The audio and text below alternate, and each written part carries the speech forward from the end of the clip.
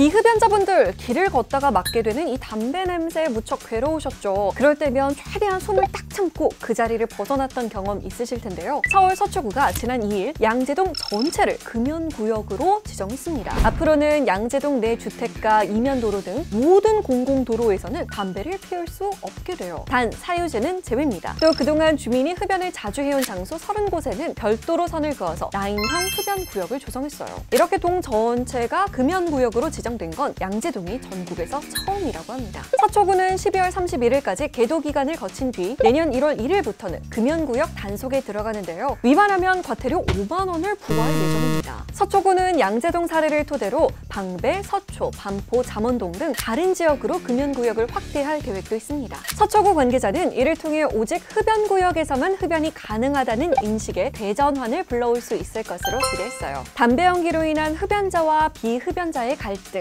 조금 줄어들면 좋겠네요.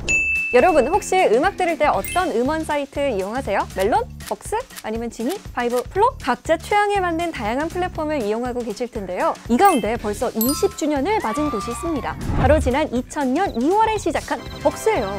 벅스가 태어난 2000년대 아 저는 Cyber Lover를 예, 부르고 있었네요. 20년 전 저는 대시를 불렀네요. 벅스가 20주년을 맞아 플랫폼 이용자의 청취 횟수를 비롯한 이용 이력을 바탕으로 지난 20년간 가장 사랑받은 20곡을 선정했어요. 국내를 넘어 전 세계를 열광케 한 블랙핑크, 레드벨벳,